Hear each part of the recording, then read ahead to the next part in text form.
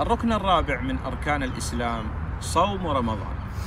رکن چهارم از ارکان اسلام روزه ماه رمضان هست. الصيام ينقسم إلى قسمين صيام فرض وصيام نفل.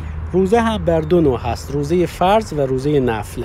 من صيام الفرض صيام شهر رمضان. از روزه فرض روزه ماه رمضان گفته میشه که روزه ماه رمضان رو عنوان می‌کنیم. يجب صيام شهر رمضان على كل مسلم. بدین معنا که روزه ماه مبارک رمضان بر هر مسلمانی فرض هست. عاقل. که عاقل باشه. بالغ يعني كبير ليس صغير بالغ باشه یعنی صغیر و کوچیک نباشه. قادر على الصيام توانایی روزه گرفتن داشته باشه. مستوطن غير مسافر. در سفر نباشه در حضر باشه غیر مسافر باشه. والمرأة تخلو من الحيض والنفاس. و زن مسلمان هم از حیض و نفاس پاک باشه.